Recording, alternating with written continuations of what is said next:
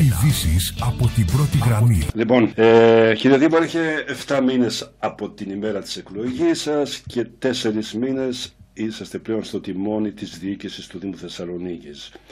Να κάνουμε έτσι μια, ένα μικρό απολογισμό των τεσσάρων μηνών από αυτά που είχατε δεσμευτεί και κυρίως για την καθαριότητα είχατε δεσμευτεί ότι και είχατε μάλιστα ήσασταν και αντιδήμαρχος καθαριότητας για το διάστημα εκείνο. Ε, περίπου τι καταφέραμε, τι υπολείπεται, πού υστερήσαμε. Ε, πραγματικά για όλα αυτά στα οποία είχα δεσμευτεί και προεκλογικά και κατά την ανάλυση των καθηκόντων μου δουλέψαμε και εγώ και οι συνεργάτες μου πάρα πολύ. Ε, ξέρετε ότι όταν είχαμε αναλάβει ε, το νούμερο ένα πρόβλημα της πόλης ήταν η καθαριότητα. Το ανέλαβα προσωπικά. Ναι, το είχατε αναδείξει αυτό, ναι. Μαζί με την ε, συνεργασία του Νίκου Ζεϊμπέκη, τότε εντεταλμένου ε, συμβούλου, σήμερα πλέον και του αντιδήμαρχος. Και βέβαια με τους εργαζόμενους καθαριότητας. Και χαίρομαι πάρα πολύ γιατί πλέον σήμερα το νούμερο ένα πρόβλημα δεν είναι στην πόλη μας η καθαριότητα. Δεν λέω ότι τα έχουμε καταφέρει, ότι η πόλη πλέον είναι καθαρή, αλλά μπορώ να σας πω ότι πλέον η εικόνα είναι πολύ καλύτερη. Δεν έχουμε αυτήν την άσχημη εικόνα με τα ογκώδη, δεν έχουμε χαλασμένους κάδους, δεν είναι οι εργαζόμενοι χωρίς σακούλες και μέσα ατομικής προστασίας. Έχουμε πολύ περισσότερα και πολύ καλύτερα οχήματα. Ε, βγαίνουν οι σάρωθρα, ηλεκτρικά σάρωθρα στις λαϊκές, καθαρίζουμε πεζοδρόμια. Ε, όλα αυτά είναι πράγματα τα οποία καταφέραμε και κάναμε μέσα σε τέσσερις μόλις, μόλις μήνες. Αύριο το μεσημέρι θα έχω μια συνέντευξη που ναι, με προλάβατε, ναι. Όντως, ναι. Για την καθαριότητα, όπου θα δείτε όχι μόνο τι παραλάβαμε και τι κάναμε σε αυτούς τους τέσσερις μήνες, αλλά και τι προβλέπεται να γίνει μέσα στο 2020, που πιστέψτε με θα έχουμε προμήθεια ε, καινούριων οχημάτων, θα έχουμε ε, μια πολύ καλύτερη διαχείριση σε πολλούς τομείς, γιατί θεωρώ ότι στο τέλος της τερατείας η καθαριότητα πρέπει να είναι πλέον κάτι το οποίο είναι προφανές στην πόλη μας. Δεν, ε, δεν είναι η καθαριότητα κάτι την οποία την οφείλουμε στους, ε, στους δημότες μας. Είναι κάτι που οι δημότες πρέπει να την έχουν από τη στιγμή που την πληρώνουν και την πληρώνουν μάλιστα και άμεσα. Ναι. Από την άλλη πλευρά μπορώ να σας πω ότι πολλά άλλα θέματα τα οποία είχα υποσχεθεί, Δηλαδή είχα υποσχεθεί να κάνουμε λαμπερά Χριστούγεννα. Νομίζω ότι όλοι συμφωνούν. Όντως, όντως, ναι, όντως, ναι, αυτό ήταν. Και εκτός Ελλάδος, ότι η Θεσσαλονίκη επιτέλους έκανε Χριστούγεννα. Είχα υποσχεθεί περισσότερη εφταξία στην πόλη. Ε, πιστεύω ότι όλοι εκτιμούν ότι πλέον υπάρχει η δημοτική αστυνομία παντού, ότι η κατάσταση σε αρκετούς δρόμους, ίσως όχι σε όλους, είναι πολύ πολύ καλύτερη. Ανακτήσαμε κάποιους δρόμους η συνεργασία μας με την τροχία και με την ελληνική αστυνομία είναι εξαιρετική. Έχω εξαιρετική συνεργασία στον τομέα της αστυνόμευσης, παρότι βέβαια στην πόλη μας δυστυχώς η εγκληματικότητα είναι πολύ ψηλά. Από την άλλη πλευρά κυνηγήσαμε και το παραεμπόριο, θυμάστε προεκλογικά τα, τα παρακολουθούσατε. Ακριβώς, ναι. Είχαμε κάνει καμπάνια που δεν ε, στυλιτεύαμε το θέμα του παραεμπορίου, δεν τα ξέχασα. Ξέρετε, ο Κωνσταντίνο Ζέρβας τίποτα δεν ξεχνά και από αυτά που λέει τίποτα ε, δεν υπάρχει που να μην το εννοεί. Άρα όλα αυτά τα θέματα τα προχωρήσαμε. Ένα άλλο θέμα το οποίο πιστεύω ότι βάλαμε τις βάσεις είναι το θέμα της ηλεκτρονικής διακυβέρνησης. Μέσα στο 2020 θα έχουμε και το ηλεκτρονικό POS, θα έχουμε και την ταυτότητα πληρωμής, θα έχουμε και πολλές άλλες δυνατότητες ε, στο ληξιαρχείο, στο TAP. Κάνουμε μια τεράστια προσπάθεια για τις ουρές στο ΤΑΠ, στο τμήμα δηλαδή των, των τελών, ναι. ούτως ώστε να υπάρχουν αυτές οι βεβαιώσεις. Ε, η λίστα είναι μακρά. Δεν σας λέω ότι ε, είναι, ε. είμαστε ακριβώς εκεί που θέλαμε να είμαστε, αλλά πιστέψτε είναι 4,5 μήνες όλα αυτά τα οποία έχουν γίνει ε, πιστεύω ότι δεν έχουν να κάνουν μια καινούρια διοίκηση. Είναι μια διοίκηση η οποία ήταν έτοιμη από καιρό και κυρίως δουλεύουμε πολύ, δουλεύουμε νυχθημερών και θέλουμε ε, να φέρουμε όσο δυνατόν πιο γρήγορα στον Δημότη Θεσσαλονίκης ακριβώς αυτές τις υπηρεσίες, ακριβώς αυτή την ποιότητα που το οφείλουμε. Οφείλω να ομολογήσω ότι όντως τρέξατε με πολύ μεγάλη ταχύτητα, δηλαδή ε, ειλικρινά το διάστημα ήταν πολύ μικρό για να καταφέρετε πράγματα που τελικά φάνηκαν στον κόσμο. Δεν είναι ότι τα κάνετε, γιατί πολλές φορές κάνουμε πράγματα αλλά αργούν να πάνε στον κόσμο. Αυτά όμως έχουν φανεί στον κόσμο, ήδη ο κόσμος αντιλαμβάνεται τη διαφορά που υπάρχει και αν και δεν άλλαξε ο αριθμός των εργαζομένων στην καθαριότητα, από ό,τι ξέρω παραμένει ο ίδιος και όμως καταφέρατε να συντονίσετε έτσι τα πράγματα. όχι, εγώ θέλω να είμαι δίκαιος, ήρθε η 3K, ήρθαν αρκετά άτομα ναι. και στην καθαριότητα, ήρθαν Ναι. περίπου 400 άτομα. Ε, ξέρετε, εγώ δεν θέλω ούτε να παραπάνω Ναι. στοιχεία, ούτε Ναι. να κρύβω τίποτα. Καλά κάνατε και με διορθώσατε. Σωστά, Αλλήμον, σωστά, ναι. Είναι περισσότερα αυτά τα Ναι. στελέχη που έχουμε στην καθαριότητα, αλλά ξέρετε, ε, δεν είναι μόνο και θέμα ποσότητας, είναι και θέμα διαχείρισης όλων αυτών Φυσικά, ναι, ναι. των ανθρώπων. Να προσθέσω ότι ψηφίσαμε προπολογισμό τέλη, τα οποία επίσης τα μειώσαμε. Ε, Ναι. Ο- ο- όλα αυτά ε, μαζί με πολλά άλλα θέματα. Συμπαραστάτη του Δημότου. Ο Δήμος Θεσσαλονίκης έχει και συμπαραστάτη του Δημότου. Ακριβώς. Παρότι ξέρετε χρειαζόταν αυξημένη πλειοψηφία, παρότι ξεκινήσαμε με ένα πολύ μικρό αριθμό α, δημοτικών συμβούλων της δικής μου παράταξης, ε, καταφέρουμε και έχουμε ευρείες πλειοψηφίες στα δημοτικά συμβούλια και στο τόσο κρίσιμο θέμα του συμπαραστάτη του Δημότου που εγώ τον πιστεύω ακράδαντα, τον πιστεύω πραγματικά ότι μπορεί να βοηθήσει πολύ και τους πολίτες αλλά και το δικό μας έργο, ψηφίσαμε ήδη και έχουμε συμπαραστάτη του Δημότου τους ώστε και αυτός να πέσει στη δουλειά και αυτός να αρχίσει να βοηθάει το έργο το δικό μας αλλά και το, να υπάρχει καλύτερη επαφή με τους α, δημότες μας. Ναι, η αλήθεια είναι ότι υπήρχε ε, ο πα- συμπαραστάτης του Δημότη, αλλά τα, θε- ε, δεν υπήρχε, δεν ξέρω, τουλάχιστον έργο δεν παρουσιάστηκε, δεν φάνηκε τουλάχιστον στον κόσμο. Ελπίζω Τα τελευταία δύο τώρα... χρόνια δεν έχει γίνει ούτε καν απολογισμός. Ναι, ναι, ναι, ακριβώς. Για το Ε, 18 και το 19 ακριβώς. Απολογισμός στα δικά μου τα χέρια ούτε στο δημοτικό. Ε, ε, να μην ξεχάσω να σας συγχαρώ για την, ε, γιατί έχετε οριστεί σαν επικεφαλής της αντιπροσωπείας στο Ευρωπαϊκό Συμβούλιο Δήμων και Περιφερειών, το λεγόμενο CAMAR, ναι. Ανέθεσε το Δημοτικό Συμβούλιο της ΚΕΔΕ και Ακριβώς. προσωπικά ο φίλο ο Δημήτρη Παπαστεργίου, Α, αλλά και ο πρώτος σαν αντιπρόεδρος, πρόεδρος, ο ναι. Λάζαρος Κυρίζογλου, με τους οποίους επίσης έχουμε εξαιρετική σχέση. Ξέρετε, είναι πολύ σημαντικό ο Δήμος Θεσσαλονίκης να έχει σχέση όχι μόνο με τους γειτονές του, δηλαδή με όλους τους Δήμους, τους όμορους Δήμους που έχουμε εξαιρετική σχέση. Ξέρετε, δεν συνέβαινε αυτό παλιότερα. Ναι, ναι, βέβαια. Όπως επίσης και με την ΚΕΔΕ ε, και όπου μπορούμε να εκπροσωπούμε όχι μόνο το Δήμο μας, αλλά και όλη την Ελλάδα.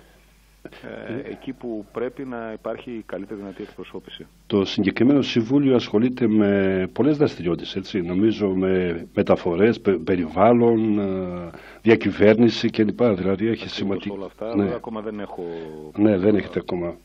συμμετάσχει σε κάποια σκέψη. Μάλιστα. Είναι η έδρα της Βρυξέλλες. Α, Ο ορισμός αυτής της ε, πολύ τιμητικής ε, θέσης ως επικεφαλής ελληνικής αντιπροσωπείας έγινε μόλις πριν από λίγες μέρες. Ε, το Σάββατο ε, στις 25 του μήνα δηλαδή προχθές στο Δημαρχείο έλαβε μέρος στο τρίτο αναπτυξιακό συνέδριο Θεσσαλονίκης το οποίο παρακολούθησα και εγώ, ήσασταν παρόν. Ε, νο- είχατε και μια συνάντηση πιο μπροστά νομίζω με τον, Υφυπουργό, με τον Υπουργό έτσι, Ανάπτυξης και επειδή υπήρχε ένα θέμα, αν, αν δεν κάνω λάθος, κάτι με την κανονιστική για την πλατεία δικαστηρίων το συζητήσατε καθόλου, είχατε κάποια συζήτηση πάνω στο θέμα αυτό; Ε, βλέπω είστε εξαιρετικά ενημερωμένος. Ήταν ένα θέμα Ναι. το οποίο ε, υπήρχε σαν εκκρεμότητα, δηλαδή χρειάζ- χρειάζεται μια νομοθετική ρύθμιση, ούτως ώστε να έχουν τις δυνατότητες οι Δήμοι να Ναι. διαχειρίζονται τους χώρους ε, στους χρόνους που, που, που, που μπορούν να, να αποδώσουν το καλύτερο δυνατό. Ε, με τον Άδωνη Γεωργιάδη προσωπικά, αλλά θα έλεγα και με όλη την κυβέρνηση, υπάρχει μια εξαιρετική συνεργασία και σχέση που νομίζω ότι βασίζεται στην αμοιβαία εκτίμηση στο ότι εμείς πρέπει να κάνουμε τη δουλειά μας σαν δημοτική αρχή και η κυβέρνηση να κάνει τη δουλειά της σαν κυβερνηση Να σας παρέχει τα εργαλεία και, τα, και Ακριβώς, τις δεν ζητάμε δυνατότητες τίποτε και υπερβολικό, νομοθετικές υπερβολικό, ρυθμίσεις. Ναι. Τίποτε παρανοϊκό, τίποτε χαρα... Ναι. χαριστικό. Ζητάμε αυτά ακριβώς τα οποία χρειάζεται ένας Δήμος για να λειτουργήσει και θα έλεγα μέχρι στιγμής ε, θέλετε με τις θέσεις μας, θέλετε με το κύρος μας, το καταφέρουμε όπως επίσης και πολλά άλλα, όπως η, η έκτακτη χρηματοδότηση που δόθηκε από το πρόγραμμα δημοσίων επενδύσεων για τους τάβλους του Παπάθη, ύψους 13 εκατομμύρια. Ακριβώς, ναι, ναι, ναι, ναι. Υπουργός Εσωτερικών, τον κύριο Θοδωρικάκο. Κάτι που ίσως να χαίρει στα χέρια σας. Ότι Ακριβώς. Από, την TIP, από, δηλαδή από αυτή την, ε, ε, της, ε, την εταιρεία του Δημοσίου που, που ασχολείται με την ανέγερση των σχολικών κτηρίων, ήδη έχουμε πάρει την έγκριση για έξι σχολεία. Δηλαδή Με ένα προλάβατε σχολείο στην ερώτηση που είχα να κάνω. Ναι. Πείτε, συνεχίστε. 18 εκατομμυρίων ευρώ ε, η Θεσσαλονίκη, ο Δήμος Θεσσαλονίκης θα έχει μέσα σε αυτή την τετραετία έξι καινούργιες σχολικές μονάδες. Είναι κάτι πολύ σημαντικό, δεν έχει συμβεί ποτέ αυτό και αυτό έγινε ακριβώς γιατί υπάρχει μια πολύ καλή σχέση α, με την ε, κυβέρνηση και τις υπηρεσίες, αλλά από την άλλη πλευρά γιατί εκτιμούν ότι η διοίκησή μας εδώ στο Δήμο Θεσσαλονίκης κάνει δουλειά. Θυμάστε το σύνθημά μου. Εμείς ήρθαμε να κάνουμε τη δουλειά, Ακριβώς. δεν ήρθαμε να κάνουμε δουλίτσες. Έτσι ακριβώς, ακριβώς. Το, συν- το Αυτή θυμάμαι είναι η δουλειά πάρα ενός πολύ καλά. δημάρχου, Αυτή είναι η δουλειά μιας διοίκησης. Ε, οι χώροι υπάρχουν για τα συγκεκριμένα σχολικά Βέβαια κτίρια. Μα- Υπάρχουν, μα- είναι μα- ήδη έτοιμα τι δηλαδή. Δηλαδή κτύπ σημαίνει για τους ακροατές με κτηριακές Ναι.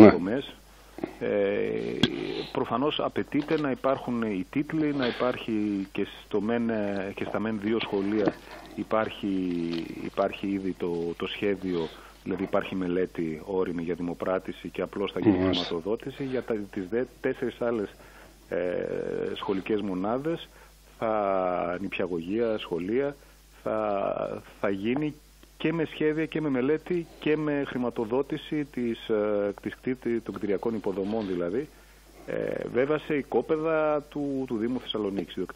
Ακριβώς, ναι. Πάντως η αλήθεια είναι ότι ο Υπουργός Υποδομών και Μεταφορών κ. Κώστας Καραμαλής είναι πολύ κοντά στο Δήμο. Δηλαδή έχει δείξει ιδιαίτερο ενδιαφέρον για το Δήμο μας. Αυτό τουλάχιστον εγώ έχω εισπράξει μέχρι σήμερα. Είναι, είναι εξαιρετική η σχέση γιατί ξέρετε, μπορώ να σας ναι. πω και, και δημόσια, μπορεί να λένε κάποιοι ότι είμαστε φίλοι. Ναι. Τον uh, Υπουργό τον κ. Καραμαλή γνωρίστηκα μόλις το καλοκαίρι δεν είχε τύχει να τον δω ποτέ, ούτε αυτό σε μένα, ίσως μόνο κοινωνικά κάνα δύο ναι, φορές. σε συναντήσεις, σε, σε η σχέση ε, οικοδομήθηκε πάνω στην αμοιβαία εκτίμηση και εμπιστοσύνη ότι μπορούμε να κάνουμε εδώ τη δουλειά που πρέπει να γίνει στη Θεσσαλονίκη. Και αυτό ε, εμένα ε, με πραγματικά με συγκινεί και θεωρώ ότι, ότι το, βοηθά, το ότι βοηθάει το Δήμο Θεσσαλονίκης είναι κάτι πάρα πολύ σημαντικό. Από την άλλη πλευρά χαίρομαι και εγώ που ο Δήμος Σαλονίκης μπορεί να κάνει αυτά τα πράγματα που πρέπει να γίνουν. Υπήρχε μια σύμβαση για υπόγειους κάδους, τελικά δεν ξέρω τι συνέβη και δεν προχώρησε. Θα πάτε σε νέα σύμβαση, τι θα κάνετε ακριβώς; σήμερα είχαμε μια σύσκεψη για αυτό το θέμα. Η, η προηγούμενη διοίκηση, ξέρετε κύριε Γλούφτσι, ναι. είχε κάνει μια, μια σύμβαση με έναν ε, ανάδοχο, Ακριβώς. ο οποίος δεν υπήρχε. Ήταν άφαντος. Εξαφανίστηκε, ναι, η αλήθεια είναι Εξαφανίστηκε ε, εκλεγμένος και όχι ακόμα ορκισμένος ε, ναι. δήμαρχος το καλοκαίρι όταν ενημερωνόμουν. Είχα την πληροφόρηση ότι ο, ο ανάδοχος αυτός ο οποίος θα έπρεπε να έχει ολοκληρώσει με την παράταση που του είχε δοθεί το Δεκέμβριο του 19 να εγκαταστήσει 80 συστοιχίες υπόγειων κάδων. Δεν είχε βάλει Ακριβώς, ούτε, ένα, ούτε μία, ναι. και δεν υπήρχε πουθενά. Οπότε εμείς κηρύξαμε, όπως ξέρετε, γιατί παρακολουθείτε τα δημοτικά μας Ακριβώς, ναι. τον, στην προηγούμενη δημο, ε, δημοτικό μας έκτοτο, τον... τον, τον κηρύξαμε έκτοτο και ήδη ξεκινάμε την ε, επαναδημοπράτηση. Ε, θέλω να πιστεύω ότι μέχρι το Φεβρουάριο, αν όχι το Φεβρουάριο το Μάρτιο, θα γίνει ε, η, η δημοπράτηση, δηλαδή θα, θα ψηφιστούν οι όροι του καινούριου διαγωνισμού, πρέπει να γίνει από την αρχή ο διαγωνισμός και θέλω να πιστεύω ότι μέσα στο 2020 θα έχει ολοκληρωθεί, αν όχι όλη η τοποθέτηση, τέλος πάντων μεγάλου, μεγάλου βαθμού υπόγειων κάδων, τουλάχιστον στους 54 από τους 80 συνολικά από τις 54 80 θέσεις ε, συστοιχίες ε, υπόγειων κάδων γιατί ήδη ε, τα, οι 54 αυτές θέσεις έχουν ε, προετοιμαστεί, έχει γίνει η Υπάρχει πολλή εργασία, υπάρχει σε αυτό και είναι έτοιμοι να δεχθούν. Ε, να πάμε σε ένα θέμα έτσι πολύ σοβαρό στην πόλη μας, βέβαια το γνωρίζουν όλοι, το γνωρίζετε και εσείς, ότι είναι η συγκοινωνία. Ε, βέβαια ακούμε διάφορα, θα αγοραστούν καινούργια λεωφορεία και τα λοιπά. Ήδη αναθέθηκαν στο, στην, στα κτέλ κάποιες ε, από τις διαδρομές που έκανε παλιά ο ΟΑΣ. Βλέπετε μια βελτίωση το επόμενο διάστημα σε αυτό το θέμα επάνω. Οι συζητήσεις που έχετε κάνει, τι σας δίνουν; Αν θυμάστε και σε αυτό είχα δεσμευτεί ότι θα συμμετέχω εκπροσωπώντας το Δήμο Θεσσαλονίκη στο Διοικητικό Συμβούλιο του ΑΣ. Ακριβώς. Και αυτό δεν το είπα βέβαια για να πηγαίνω και να δείχνω τον πόη μου. Όχι βέβαια. να συμμετέχω και να βοηθώ όσο μπορώ γιατί το νούμερο ένα πρόβλημα στην πόλη μας είναι πλέον οι συγκοινωνίες. Ε, είναι σε, σε πρώτο βαθμό βέβαια το, η κατάσταση αυτή στον ΟΑΣ στα λεωφορεία και μετά βέβαια στο μετρό που μπορούμε και γι' αυτό να μιλήσουμε. Ακριβώς. Συμμετείχα ε, στο Διοικητικό Συμβούλιο και από το καλοκαίρι πάλι σας λέω όχι σαν ορκισμένος δήμαρχος, ε, σαν εκλεγμένος. Είχα συσκέψεις και με τον κύριο Καραμαλή, τον Υπουργό των Αρμόδιων Υπουργών, τον κύριο Σταθόπουλο, τον Γενικό Γραμματέα και αμέσως μετά με το Διοικητικό Συμβούλιο του ΑΣ σε κάποιο βαθμό και εγώ με τις όποιες δυνάμεις είχα, συνέβαλα στο να έχουμε αυτή την πρώτη ασπιρίνη, όπως λέω, ναι. όπως συμφωνεί και το Διοικητικό Συμβούλιο ε, στη συμφωνία με τα ΚΤΕΛ. Πολύ άμεσα, δηλαδή, ήδη έχει εκπονηθεί ε, ο διαγωνισμός για την μίσθωση μεταχειρισμένων λεωφορείων, κάτι που και εγώ το είχα προτείνει το καλοκαίρι στον, στον Υπουργό. Δεν σας λέω ότι ήταν δικιά μου ιδέα. Εν πάση περιπτώσει, είναι κάτι το οποίο το είχαμε συζητήσει από το καλοκαίρι. Επαναλαμβάνω πριν καν ορκιστό δήμαρχος στη. Ναι, ναι, ναι. Ε, Ούτως ώστε βέβαια με την α, τροποποίηση του νόμου που, που έπρεπε να γίνει γιατί ο ΑΣΤ δεν μπορούσε να μισθώσει μεταχειρισμένα λεωφορεία θέλω να πιστεύω θα τρέξει γρήγορα αυτός ο διαγωνισμός για να έχουμε ε, μέχρι το καλοκαίρι περίπου 100 ε, συν, ε, συν 20 λεωφορεία από τα κτέλ για τις 25 γραμμές που θα αναλάβει μαζί με τις 6 που ήδη έχει. Και για την προμήθεια 100 πιθανότατα συν άλλων 100 μισθωμένων λεωφορείων ε, μεταχειρισμένων από εταιρείες, παραλαμβάνω από εταιρείες και από όχι από μάντρες. Ναι, κατάλαβα. Ναι. Ο ΑΣ θα απευθυνθεί σε εταιρείες. Δεν θέλω να λέω ονόματα εταιρεών. Παρακαλώ, φυσικά, ναι. ναι. Αλλά, εν περιπτώσει, από σοβαρές εταιρείες που ήδη χρησιμοποιούνται, ε, ούτως ώστε να είναι εξασφαλισμένη η, η πολύ ψηλή ε, ποιότητα αυτών των, των οχημάτων που θα έχουν σαφέστατα πολύ, μικρότερο, πολύ μικρότερη ηλικία από τα αυτά που κυκλοφορούν. Οπότε με την πρόσθεση των, ε, των λεωφορείων των κτέλ συν αυτά τα οποία έχουμε σήμερα, ε, συν αυτά τα μισθωμένα, μείον βέβαια, γιατί πάλι σε λέω θέλω να είμαι πάντα ειλικρινής και να λέω ναι, ναι. μείον αυτά που θα αποστρατευτούν. Ναι, γιατί αυτό το ρήμα, έχουν φτάσει σε σημείο, ναι, έχουν, έχουν φτάσει όχι στο αμήν, έχουν φτάσει ναι. στο... Μα μένουν στον δρόμο μερικά, ναι. Είναι 24 ετών λεωφορεία. Γιατί ξέρετε, η προηγούμενη κυβέρνηση αντί για να πάρει λεωφορεία είχε ανεβάσει την, ε, την ηλικία αποστράτευση των, ε, των, των υφιστάμενων λεωφορείων. Είχαμε ξεχάσει τα πορτοκαλί λεωφορεία του ΆΣΙ, ξαφνικά τα είδαμε να, να κυκλοφορούν και χαιρόμαστε να τα βλέπουν να έρχονται για να τα πάρουμε. Ακριβώς. Αυτή, αυτή είναι μια κατάσταση που δεν σας λέω ότι λύνει το πρόβλημα, αλλά θα μπορέσει να φτάσει τον αριθμό των μέχρι το, μέσα στο έτος, μακάρι να είναι το καλοκαίρι, των 400 500 λεωφορείων, ούτως ώστε... Περίπου 600 από ό,τι είχα διαβάσει ναι, ναι, ναι. απαιτούνται. Από τα 600 περίπου που απαιτούνται να έχουμε φτάσει στον αριθμό περίπου τον, του 90% του, του κυκλοφοριακού ε, υλικού, δηλαδή των λεωφορείων που χρειάζεται για το καλύτερο ε, έργο μέσα στην πόλη.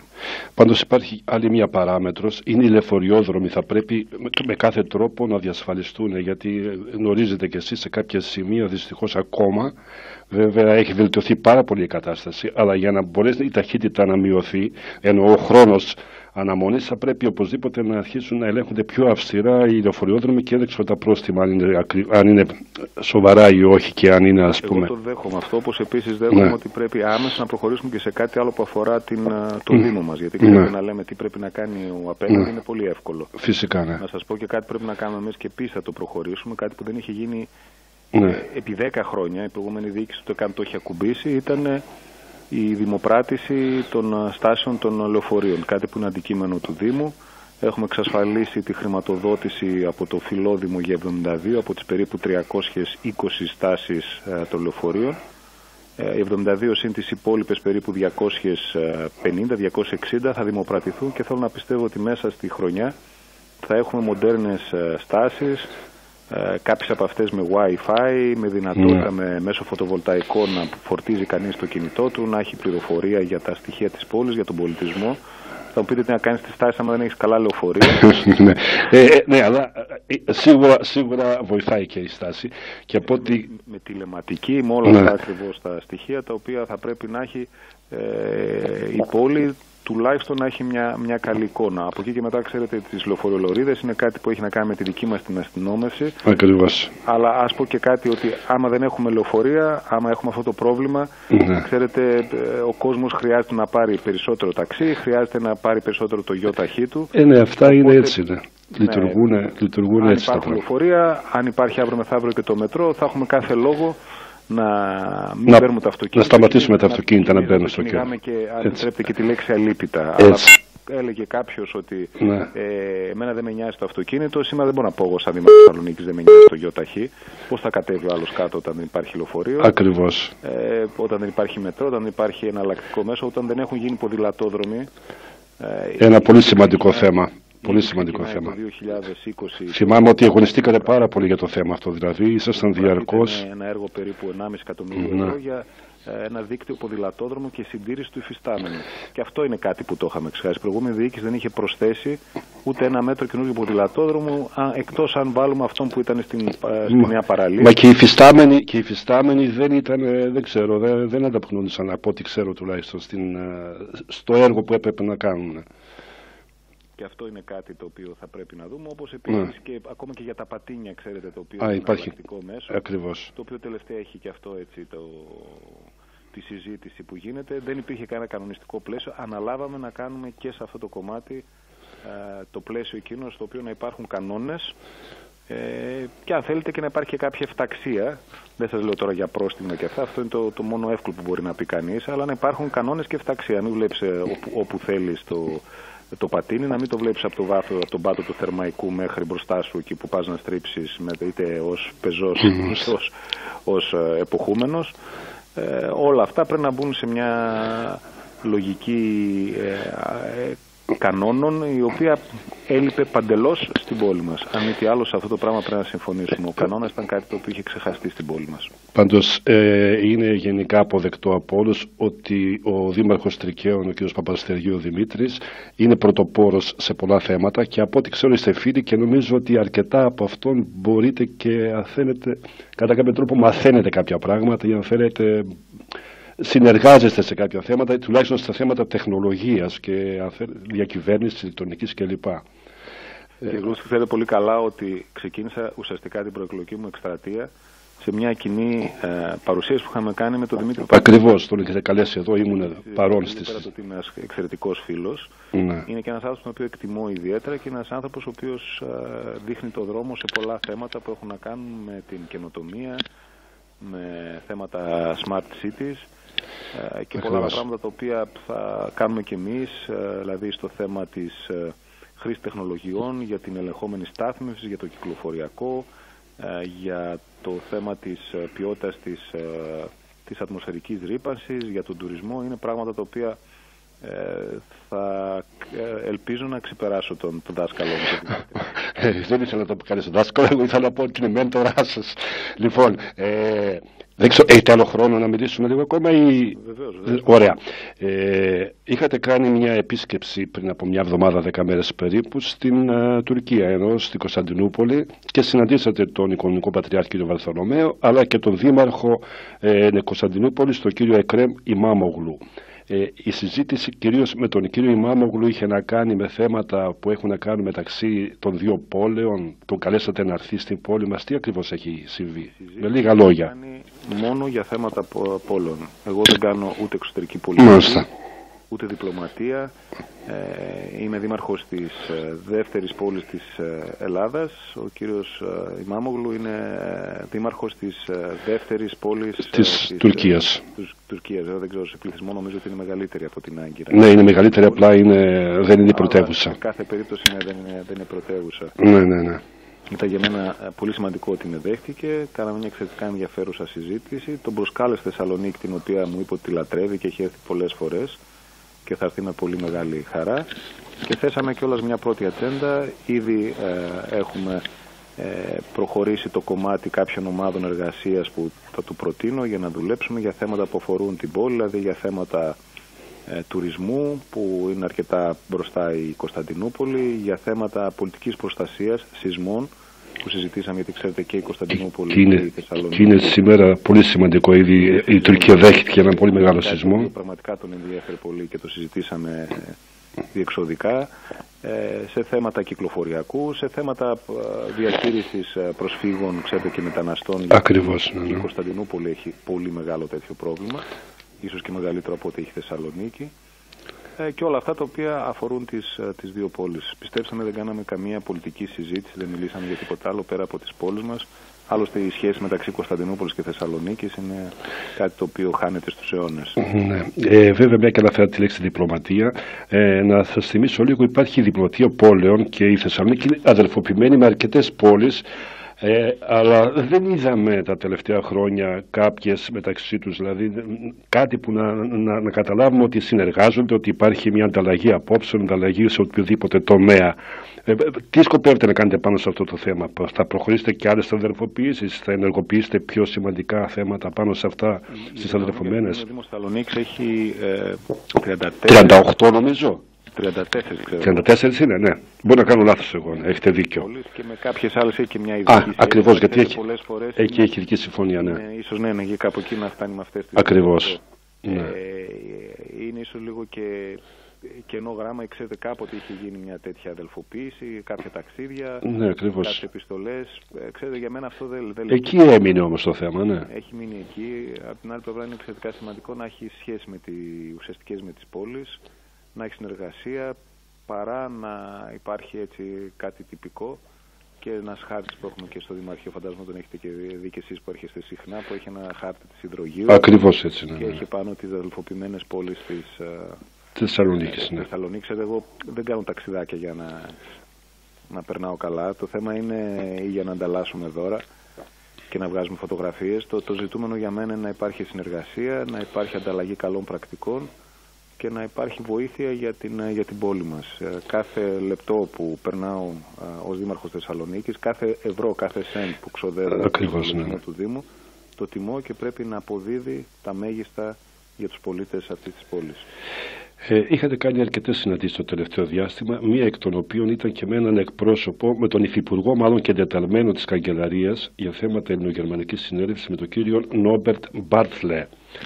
Ε, η συζήτηση είχε να κάνει με, κυρίως με τι θέματα; Η συζήτηση είχε να κάνει με το κομμάτι αυτό της πόλης που πραγματικά χρειαζόμαστε την τεχνογνωσία από τις, ε, από τις, προηγουμένες, από τις προηγου, πολύ, ιδιαίτερα προηγουμένες υπηρεσίες που έχει η, η Γερμανία. η Ομοσπονδιακή Δημοκρατία της Γερμανίας και τα δύο θέματα κυρίως που συζητήσαμε είναι η διαχείριση απορριμμάτων ε, και από την άλλη πλευρά το κυκλοφοριακό και βέβαια τα θέματα που αφορούν τα smart cities και τις τεχνολογίες.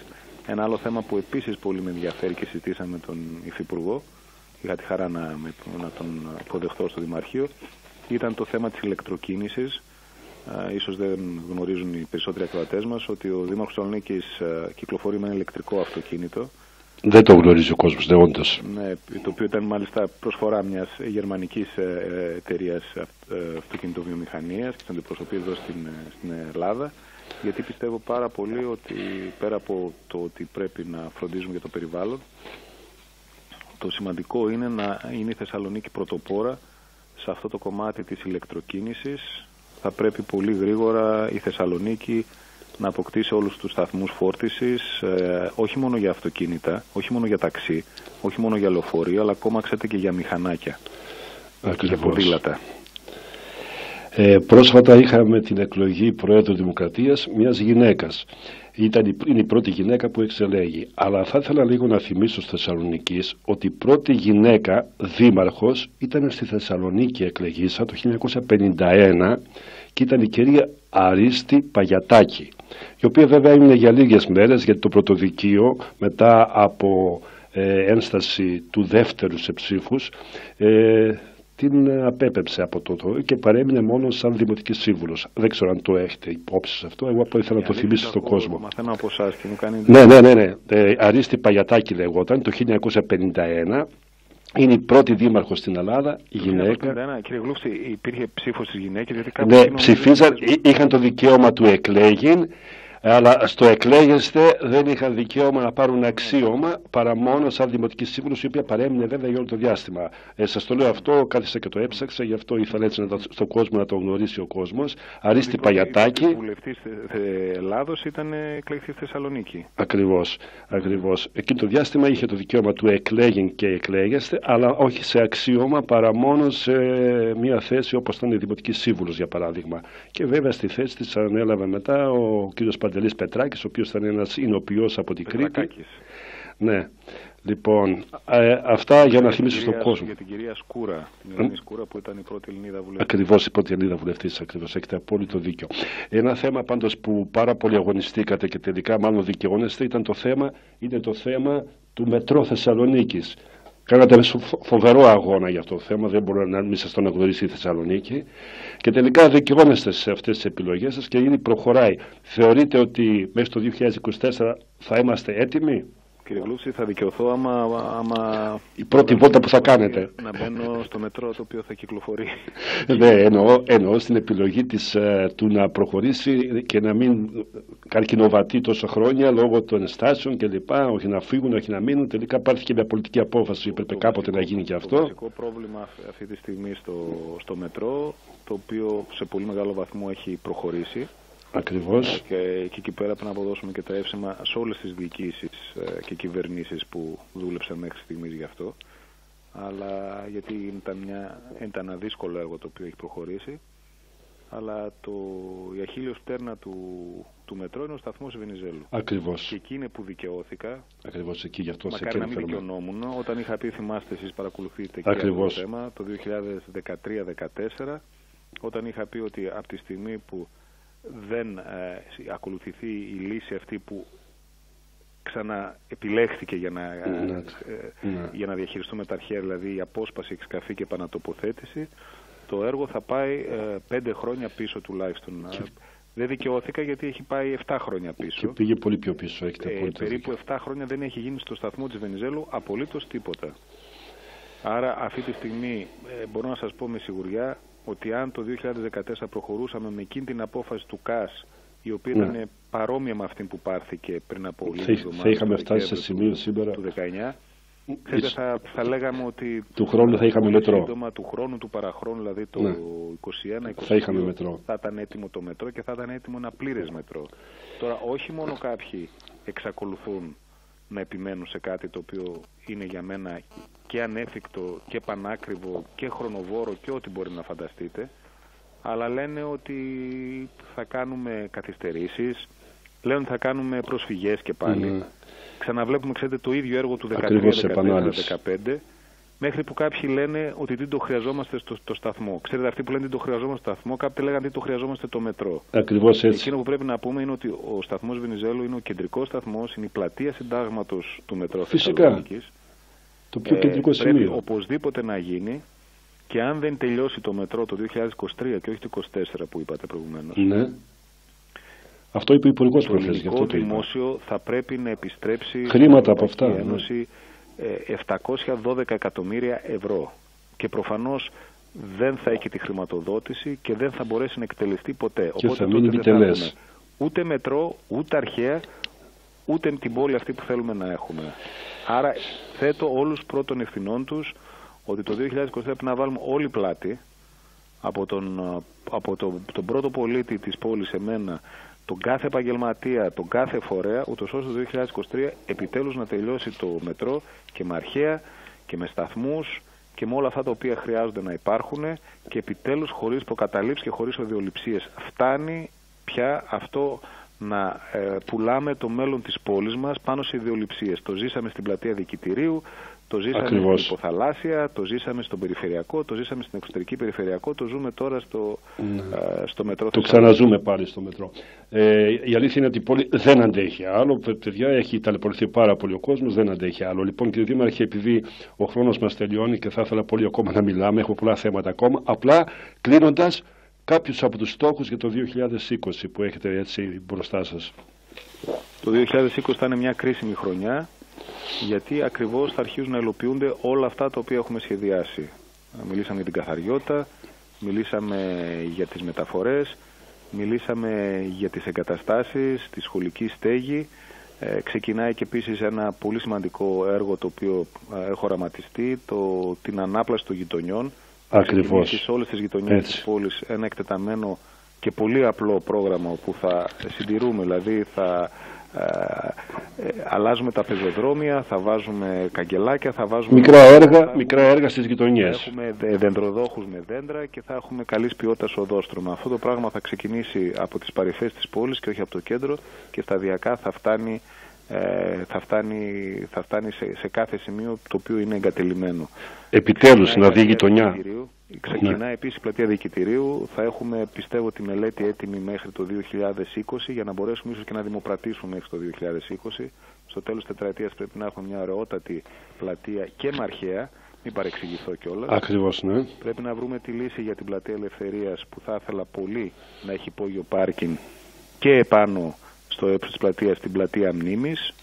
Από την άλλη πλευρά μπορώ να σας πω ότι θα βάλω ε, κάθε, κάθε δύναμή μου για να ξεκινήσει και το Μουσείο του Εβραϊκού Ολοκαυτώματος. Είναι κάτι το οποίο είναι, θεωρώ πάρα πολύ σημαντικό, το οποίο και αυτό βρίσκεται σε μια φάση που πρέπει να δουλέψουμε πάρα πολύ.